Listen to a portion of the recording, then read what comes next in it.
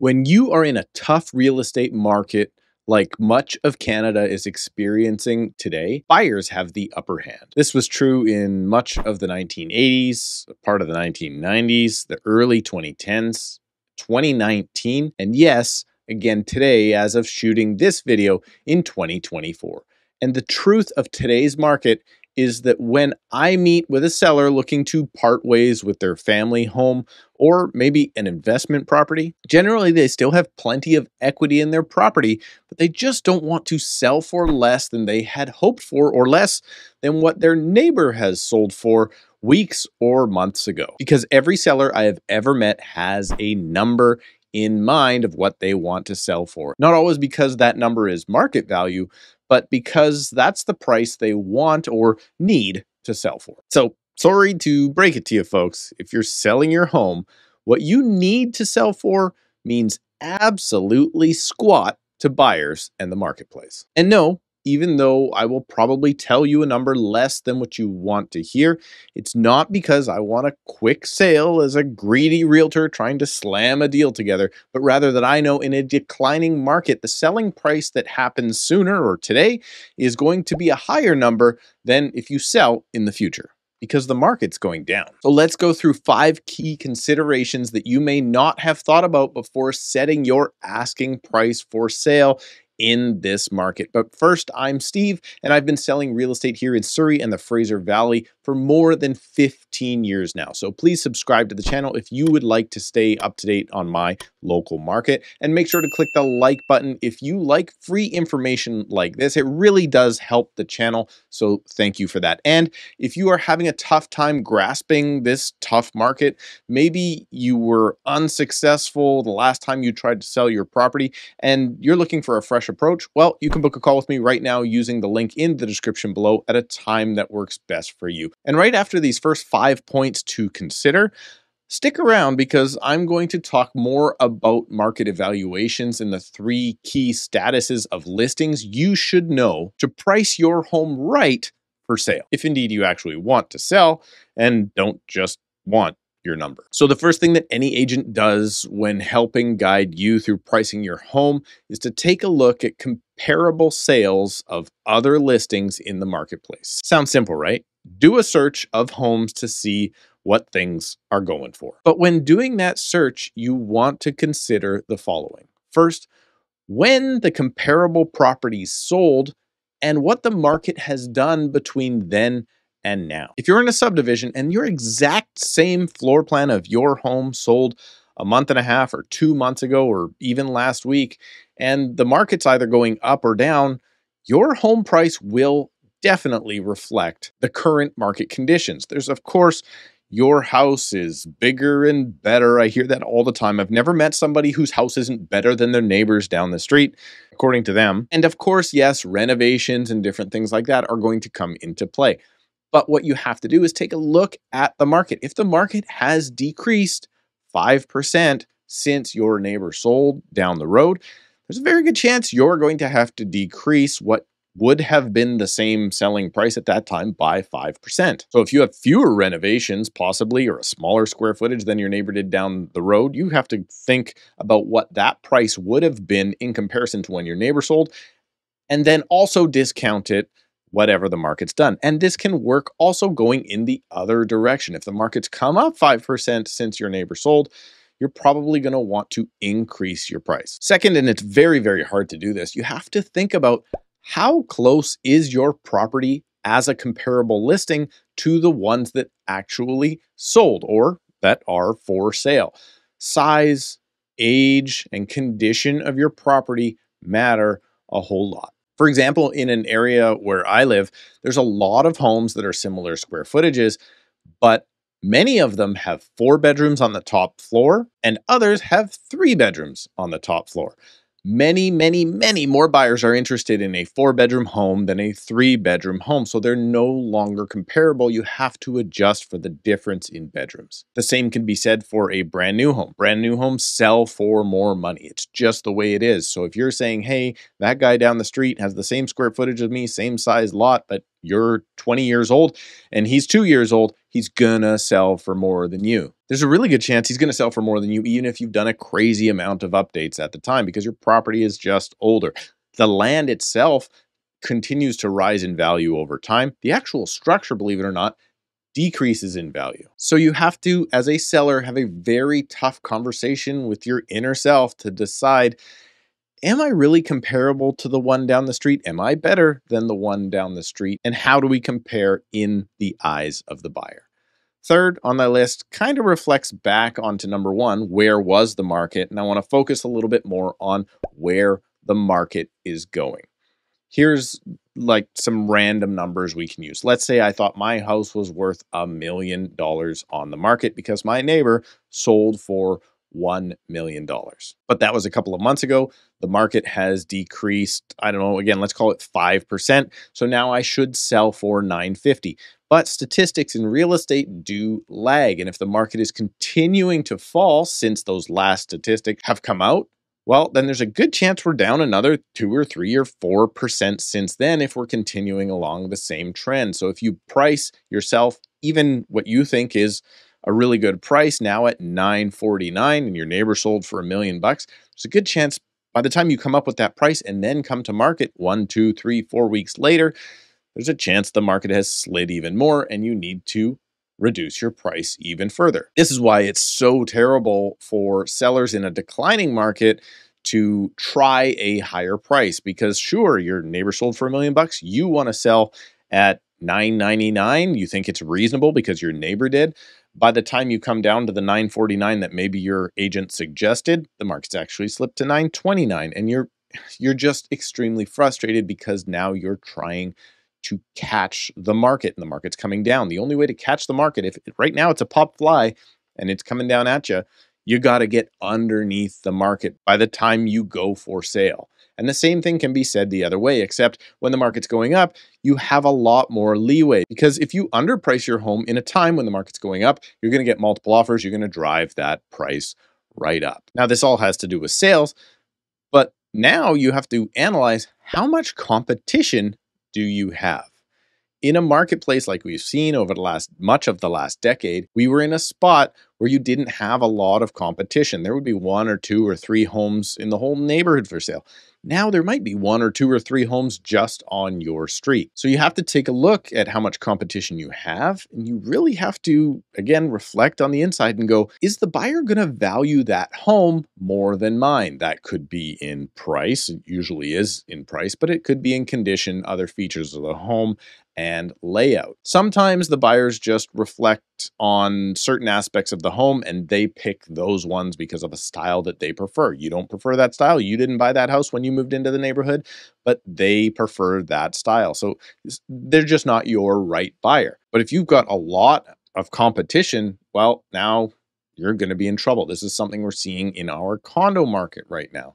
There's a whole ton of listings all remaining at those high prices from three to six months ago, and they're just not selling. But they could maybe be not selling for a reason that you hadn't yet considered. Of course, price is high.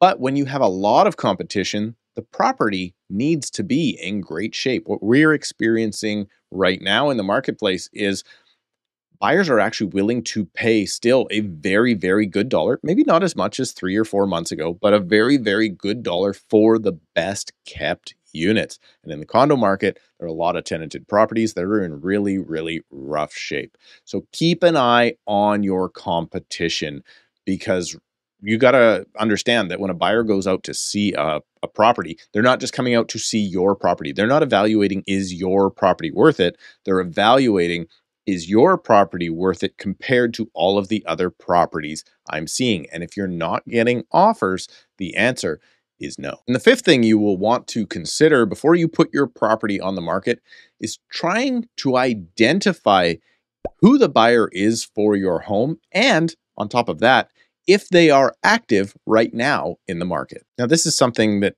seems ridiculous. A lot of people will say, well, I don't know who the buyer is going to be if you're hired an experienced agent that knows the market, they're probably going to have a pretty good idea of exactly who your buyer is going to be. And yes, this means kind of stereotyping people into a type of property. For instance, again, let's go back to the condo market. If it's a one bedroom condo, it's likely a first time buyer or an investor. Those are probably your people. Depending on the area of town you're in, they could be of different ethnicities. They could negotiate in different ways. Let me give you a, an example. Uh, recently, I had a home for sale. Uh, it was a detached home. It had a basement suite in it. Uh, so now I know I'm looking for probably a family. And uh, in this particular home, probably a family that's looking for some sort of mortgage help. However, I do know the area. And the area is not really a mortgage help type of area.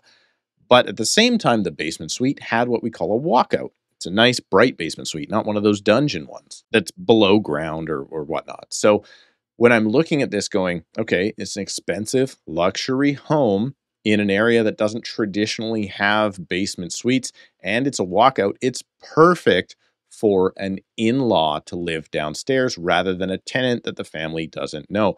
And we received multiple offers on the property, and that's exactly who was offering and who successfully secured the home. But going back to like a first time buyer or an investor, you have to ask yourself are those people active in the marketplace right now? If you have a two bedroom condo, it's a really tough go in a lot of the marketplace right now because, well, there's not a lot of first time buyers out there, to be perfectly honest, and there's not a ton of investors looking to enter the market. They're they're dabbling around, as I pointed out in this video right here, but they haven't flooded yet back to the marketplace. So if you're looking to sell a condo right now to a first time buyer and investor, it's going to be a lot tougher go. Say, for instance, that if you're trying to sell a property uh, like a townhouse, a small, affordable townhouse to a family on a budget, it's going to be a lot easier because there's more of those people in the marketplace right now.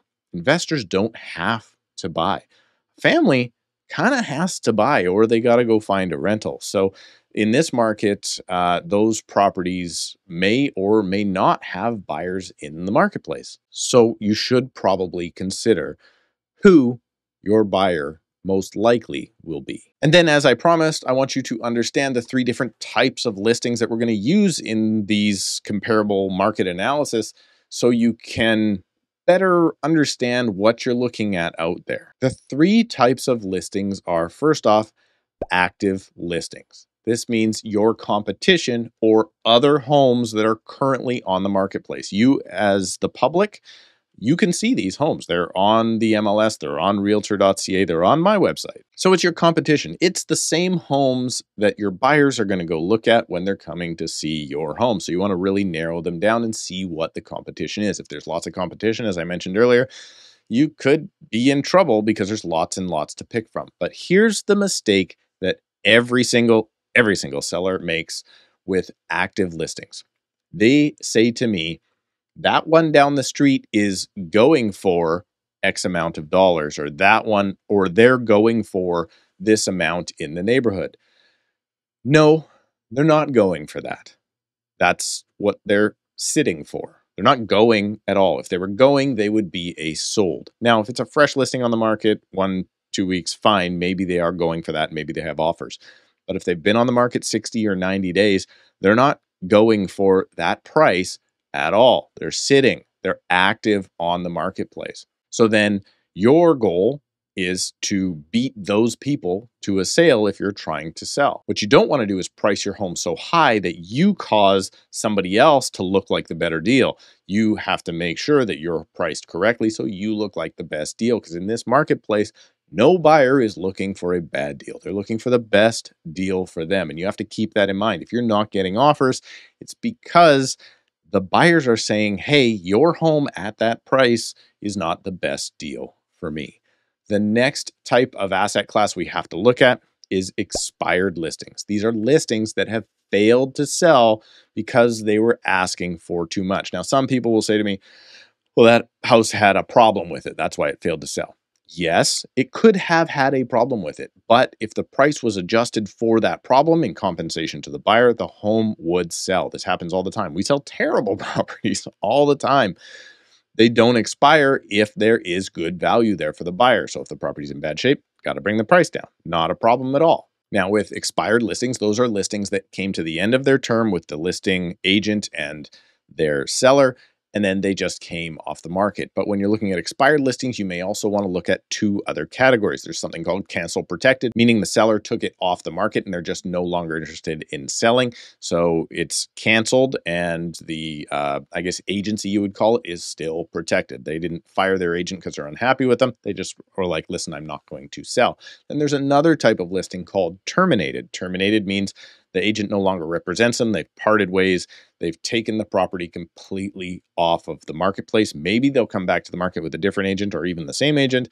Um, but likely you should consider also expired, terminated, and cancel protected listings to find out how much value is too much for comparable homes. And last, of course, is actual sold listings. Now, recently on our real estate board here in Surrey in the Fraser Valley, there's a couple different categories for listings, whether or not they're sold, conditional, unconditional, pending, closed, those sort of things. But let's just call them sold listings. A buyer came to that listing, offered, and a buyer and seller came to agreement on what actual value is. So when you see a sold listing, that is actual value. Usually, actual value is a place where a buyer feels like they're paying too much and a seller feels like they're not getting enough. That's normal in the marketplace.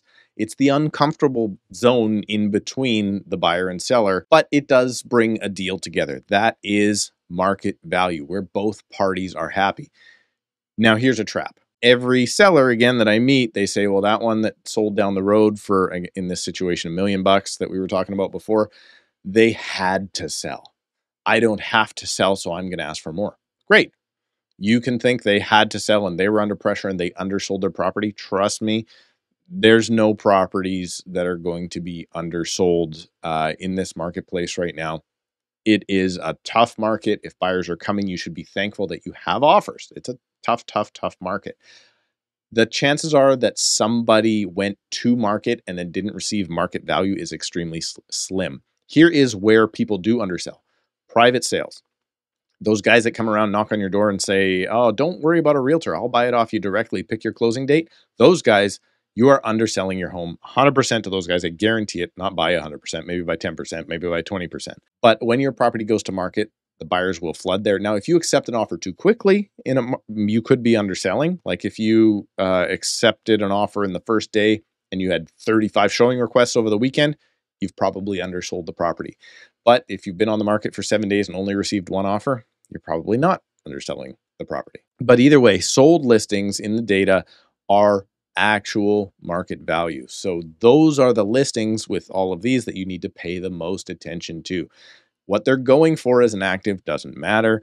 If they expired, they weren't going for that at all. They came right off the marketplace and sold is where the real value is. And then going taking that sold information all the way back to point number one.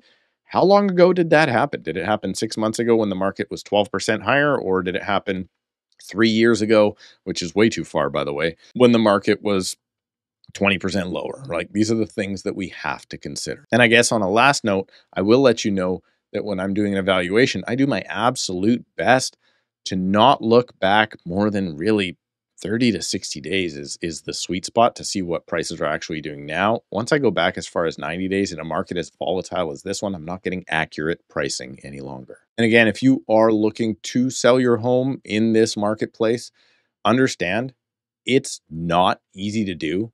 And if you need help, well, you can book a call with me right now using the link in the description below at a time that works best for you. Thank you for subscribing, clicking the like button, and we'll see you in a couple of days.